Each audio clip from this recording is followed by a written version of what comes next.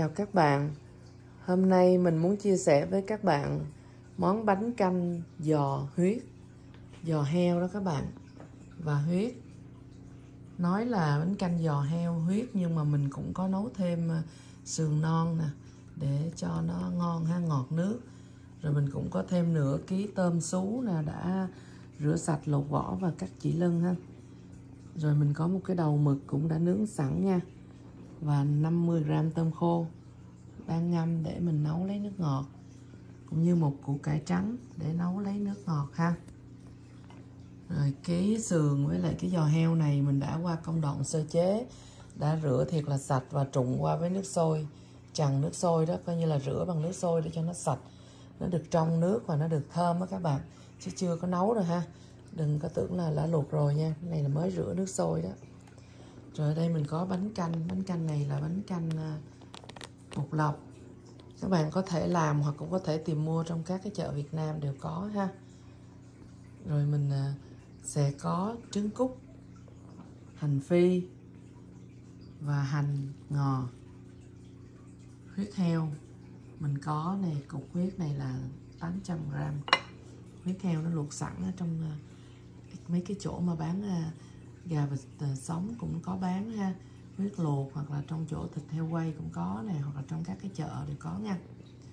Rồi bây giờ mình sẽ đi bắt cái nồi nước lên và mình sẽ đi hầm xương, giò heo. Sẽ bỏ vào củ cải đầu mực với tôm khô để hầm lấy nước dùng, nước ngọt trước nha. Số lượng mình dùng trong ngày hôm nay thì ở đây là hai ký rưỡi giò heo cũng như là móng heo ha. Là hai ký rưỡi, một ký xương non, rồi 800 g huyết nửa ký tôm. Rồi mấy cái ừ, 50 gram tôm khô với một cái đầu mực. Có bạn có nhiều thì bỏ nhiều ha, mình còn có một cái đầu mà cũng khá là to. Mình nướng là mình bỏ vào nước dục cho nó thơm ha. Rồi một củ cải củ cải trắng này khoảng nửa kg nè. Rồi bánh canh nè.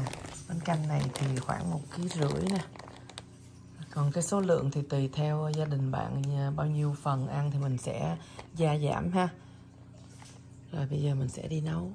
Rồi mình sẽ đi bắt lên à, 4 lít nước ha, mình cho hết sườn rồi à, đầu giò heo rồi à, củ cải, tôm khô và mực vào trong đây ha.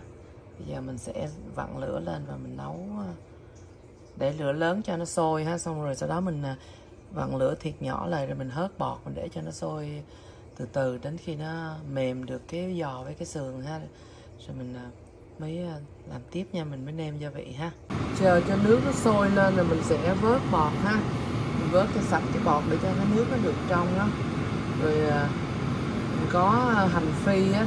Mình cho cái hành phi vào trong một cái túi túi vải hoặc là cái lọc trà mình cho nó vào trong đây để cho nó đừng có ra cái xác á. Mình lấy cái nước thơm của cái hành phi ha.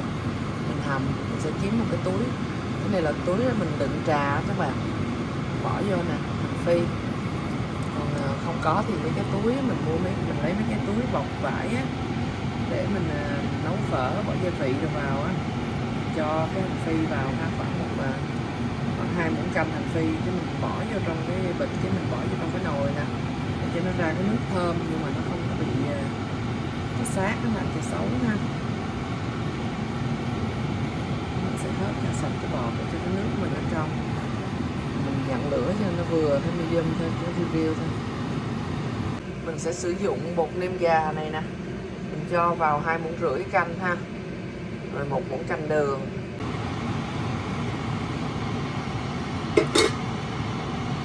Nếu các bạn ăn được bột ngọt thì các bạn cho một muỗng cà phê bột ngọt ha, còn không ăn bột ngọt thì thôi ha. Mình cho cái à, bột nêm gà này là cũng được rồi ha cho thêm một muỗng cà phê muối hồng. Tiếp tục hớt bọt cho nước lèo nó được trong ha. À, nếu như bạn nào mà nhà mà không có ăn được ngọt á, thì mình không có cần uh, cho muỗng uh, canh đường vào nha. Tại vì uh, mấy cái rau củ với lại mực rồi tôm khô này nó cũng rất là ngọt rồi. Sườn xương sườn heo với lại giò heo nè. Nó ra cái nước cũng ngọt rất là thanh rồi. Nếu mà mình ăn theo cái uh, gia vị của người miền Nam thì mình mới cho đường vào ha. Sau khi nấu được à, 50 phút à, với lửa riêu riu thì bây giờ mình thử xăm thử thì cái giò heo với lại cái sườn nó cũng đã mềm thì mình sẽ cho cái huyết vào nha. Cho huyết heo vào nữa chờ sôi lại hết bọt là xong đó. Gia vị mình nêm như vậy là rất là vừa ăn tiếp theo bữa nay chờ luộc không được ngon, nó bị ờ, rỗ mặt nhiều quá. Cái này là bị lửa lớn quá cho nên là nó bị rỗ cái mặt này.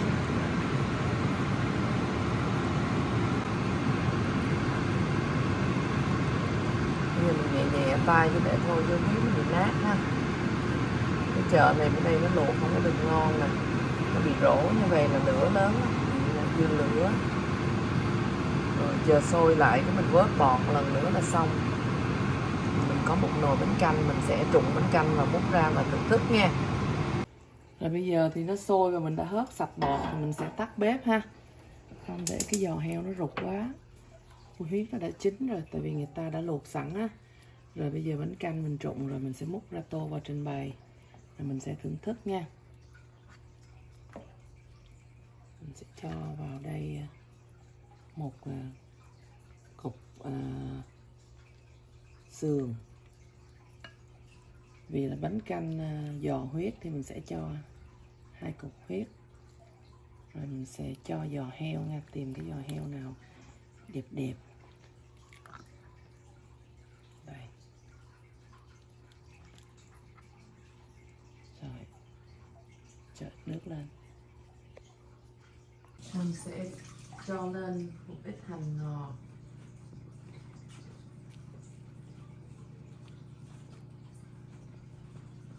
rồi một ít hành phi.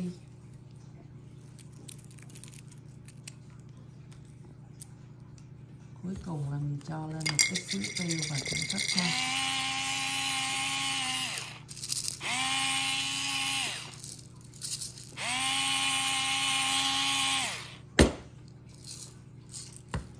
rồi, món này thì mình sẽ ăn kèm với lại à, nước mắm ớt và chanh nếu thích cho chanh vào ha.